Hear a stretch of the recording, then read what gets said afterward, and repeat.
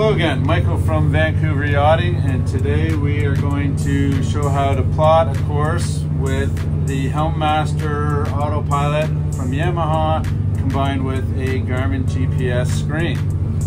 It's a little different than courses that I've plotted on other systems, so um, here we go.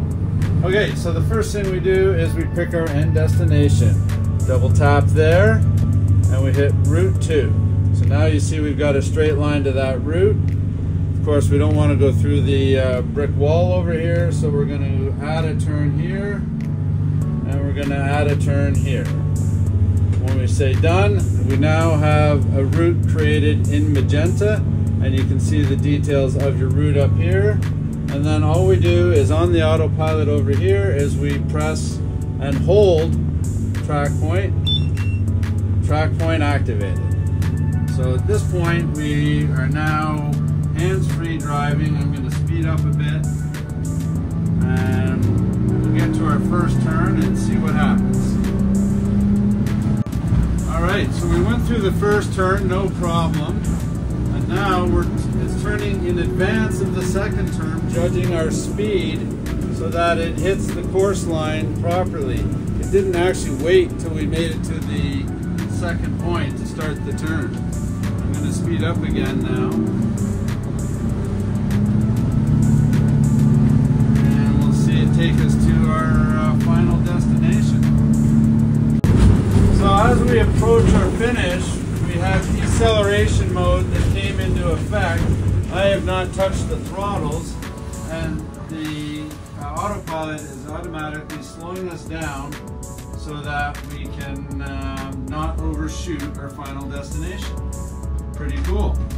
We can change this option, so if we want to just keep going, uh, I will go through the menu uh, and, and, show you the different options uh, that you can do at the end of your uh, route.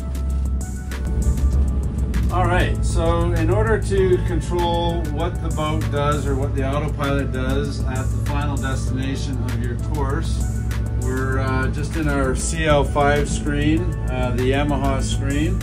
Uh, the bottom right um, button, then we go top right button, and now we have final track point mode. Currently is in deceleration.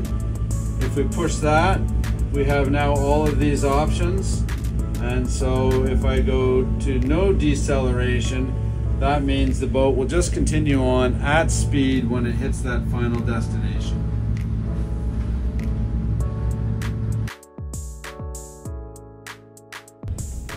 All right, so I made a small route and now I'm going to show you how to have the autopilot follow that route.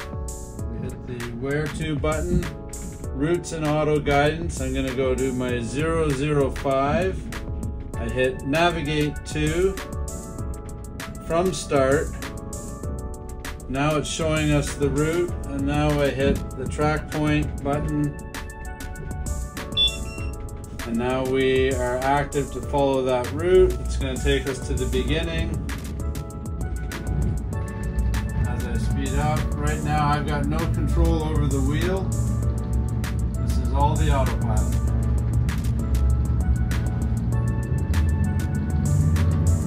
I'll just speed up so we go through that route